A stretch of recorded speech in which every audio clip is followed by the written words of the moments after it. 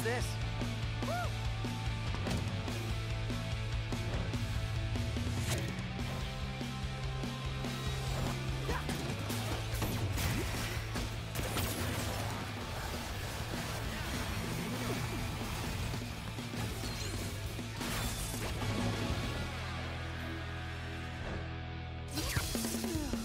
What happened now?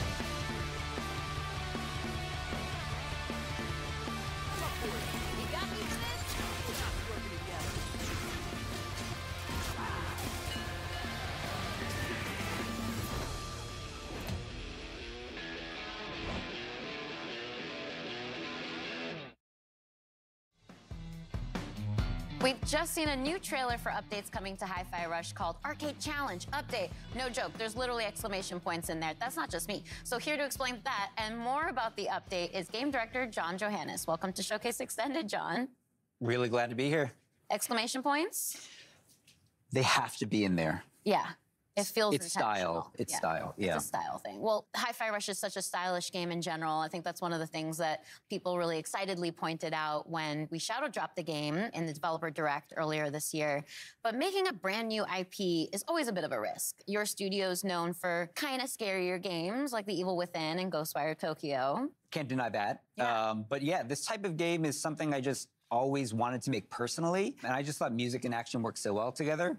And after I had finished working on The Evil Within 2, it just felt like the right time to try something new. And our studio has always been about just making fun games. It doesn't have to be about a certain genre. We're not about making one specific thing. And fortunately, there's plenty more of that content to come because we just saw an absolutely jam packed trailer. So I'd love for your help in breaking down all the details, all the stuff going into this update. Sure. There's a lot, so bear with me. Everything in this mode is unlockable once you've finished the game, and you'll unlock an arcade cabinet in your hideout. And by accessing it, you get two new modes. One is called BPM Rush mode, which takes the gameplay up to like higher speeds than we've ever done in the main game. And the other is called Power Up Tower Up, which is a new sort of randomized spin on the rhythm tower mode that we had in the original game. And included in this mode are five new original songs to play to, as well as two brand new enemies. And then there's special attacks and this whole meta system for unlocking upgrades and rewards. And that's all I can think of right now. I love that there's so much to, to unpack there, but let's rewind. Let's talk about just BPM Rush for now. Sure. It was described in the trailer as effectively Hi Fi Rush's equivalent of a turbo mode. Can you explain that a little bit more? Yeah, early on, the team was like, how fast can we go? And in the game, we kind of settled at, um, you know, about a max 160 BPM. But this mode really takes it up to 200 BPM. But we sort of ease you in there. It's a gradual upgrade until it eventually gets so fast, you just got to sort of think on your feet and naturally react to the rhythm in, in the combat of the game.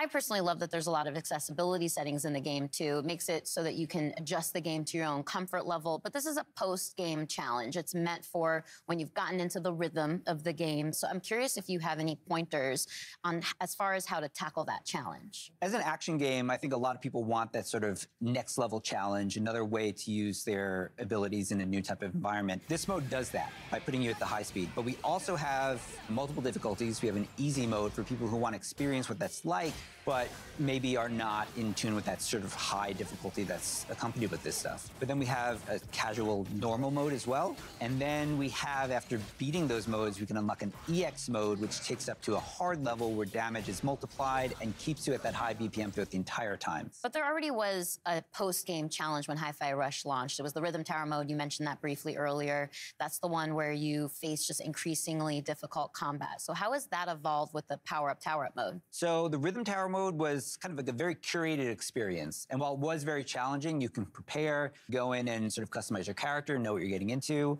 And in this mode, we flip it to the almost opposite end. Chai starts off downgraded. We actually remove all your abilities, and you have to earn them back by fighting waves of randomized enemy sets. And after every wave of enemies, you get to choose from a series of power ups that can gradually increase your stats. Each of these upgrades comes with either bonus or negative modifiers as well to the gameplay. So you can take more risks or less risks depending on which upgrades you pick. And again, those upgrades are randomized each level. So really kind of have to have an understanding of the systems and not quite master them, but have a good grasp if you want to go in and, and come out on top. Well, as I mentioned earlier, it was a really packed trailer. There was a lot of information in there. It's a chonky update. So, what else have you got for us? Because I feel like there's more on the table there. Yeah, so by playing in the two modes, you unlock these rewards through these challenges that are connected to these two modes. And in those rewards are things like accessories for Chai and new costumes for Chai 808, and even as well as fan favorite Korsica.